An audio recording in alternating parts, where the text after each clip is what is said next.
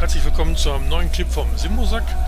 Ich habe nochmal in meinem Archiv gekramt, damals zum Thema äh, Map Gladbeck und der nicht gerade kleinen Kritik an der ganzen Geschichte.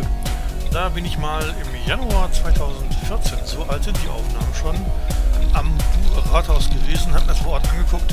Jeder kann sich jetzt selbst ein Bild eigentlich davon machen, wie es original aussieht. Vielleicht jetzt etwas besser sogar noch, wenn wir das Ganze mal hier mit unserem transparenten Cockpit eines Solaris anfahren. Ich finde immer noch, die Map ist super geworden. Die Map wird auch weiterhin gepflegt.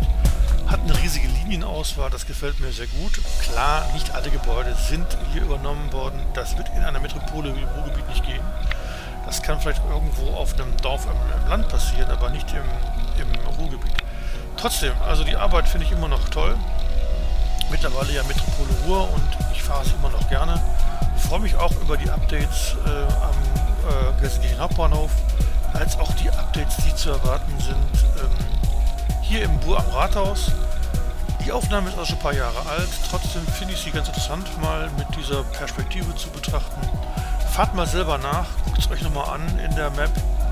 Ja, und wenn ihr ein paar Kommentare unterschreibt, was euch gefallen hat, würde mich sehr freuen. Macht ein Abo, lasst ein Like da. Tschüss, euer Simosack.